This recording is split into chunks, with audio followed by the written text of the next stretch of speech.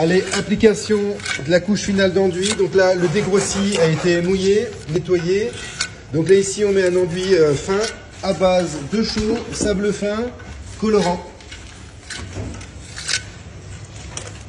Donc tu vois, l'épaisseur est très fine, environ 2-3 mm. Là, ici, le blanc a été appliqué et le bleu a été frisé. Avec un frisoir éponge.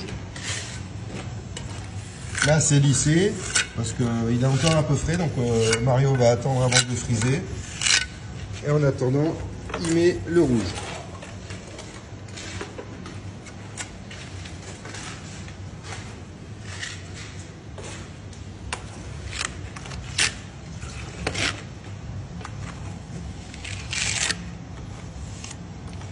Donc c'est la réalisation de colombages. Donc les colombages, ce sont des ossatures avec euh, des bois. Donc là, euh, le but de ces apprentis euh, en maçonnerie première année, c'est de réaliser donc une finition dans ces colombages, donc finition variée. On a de la fausse brique ici, là on a un enduit décoratif avec différents types de, de colorants.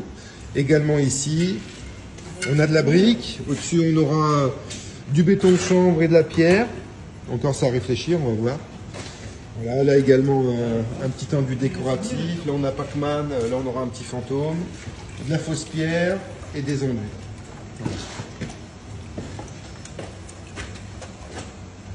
Pas mal.